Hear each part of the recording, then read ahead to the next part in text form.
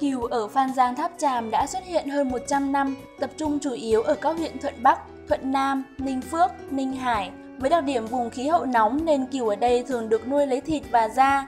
Chương trình Nông nghiệp sạch sẽ cùng chị Kim Phượng trải nghiệm quy trình làm thịt cừu sấy. Đây là một món ăn mới từ thịt cừu được chế biến tại xã Phước Thuận, huyện Ninh Phước.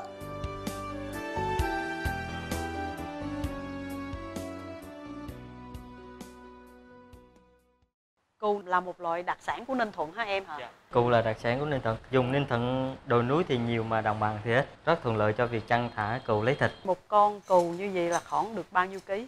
Và một con cừu vậy là hơi là khoảng 42 kg. Không quá non mà cũng không quá dài. Chọn già quá thì nó quá dai mà chọn non quá thì nó quá mềm. Nó không được vị ngọt thịt. Thịt cừu như thế nào là tươi? Màu hồng đỏ này, nó không bị rỉ nước. Ăn vô nó còn đèn hồi này. Như vậy rất là tươi. Khi mà mình làm cái món thịt cừu sấy á, thì mình lấy cái phần nào để mình làm em? Hai đùi sao với thịt thăn. Mấy phần thịt này nó mới chắc thịt, à, Ừ. ít mỡ, lại ít gân, sấy mới đạt yêu cầu.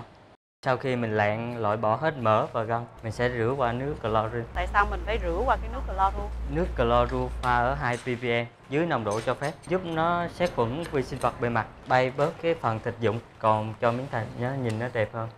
Khi mình rửa xong á thì mình đem đi cấp đông, giúp miếng thịt được định hình và đưa vào máy thái thịt sẽ dễ hơn. Các miếng thịt sẽ đều nhau, 10 miếng như một. Máy thái thịt này rất là lý tưởng. Ra miếng thịt rất là đẹp. Thái mỏng như vậy gia vị nó mới thấm đều được thịt. Cái à, gia vị á, mà mình muốn ướp vô trong cái thịt cừu sấy cho ngon á, là những cái gia vị như thế nào? À, mình gồm có muối, Ừ. tiêu, ngũ vị hương, tiêu hồi, à, ớt, hạt nêm. Mấy cái này mình sẽ trộn theo một tỷ lệ nhất định và tùy theo khối lượng thịt Ờ. à, mình sẽ được hỗn hợp như đây. Giờ mình tiến hành ướp luôn nha chị.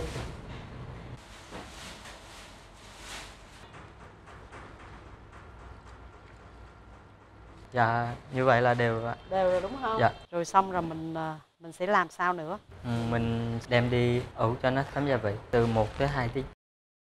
Trải ra cái vỉ này á, có cần phải trải mỏng không? Dạ, mình phải cần chải đều cho nó khi sấy để cho thịt nó chín đều, khô đều tất cả các mặt, sấy tiết kiệm thời gian hơn.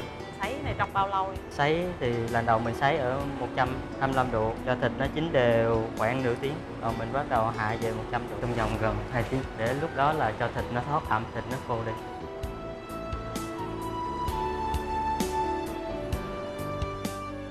Rồi, sản phẩm mới ra lò ha. Dạ. Em thấy tất cả những sản phẩm như là trâu khô hay là bò khô đã có rồi, nên là cũng muốn phát triển những cái sản phẩm đặc thù địa phương em. Nên là ý tưởng này em cũng có à, đề đạt với ủy ban nhân dân tỉnh, ủy ban nhân dân tỉnh à, chấp thuận sở khoa học công nghệ là chuyển giao cái đề tài là nghiên cứu 10 cái sản phẩm từ con cừu á. Và trong đó thì có một cái món à, đặc trưng nhất đó là món à, cừu sấy chuyển giao công nghệ cho em tại cơ sở cơ sở chế biến. Nói chung là bò khô, nai khô hoặc là trâu khô thì mình đã dùng thử. Nhưng mà cái món cừu là lần đầu tiên mà thấy rất là ngon, rất là thơm. Nó vẫn còn cái vị ngọt của thịt, ăn rất là thấm tháp mà không có mặn, rất là vừa miệng Thịt cừu sấy, sản phẩm nông nghiệp tỉnh Ninh Thuận, được chế biến tại xã Phước Thuận, huyện Ninh Phước với sản lượng khoảng 300 kg mỗi năm.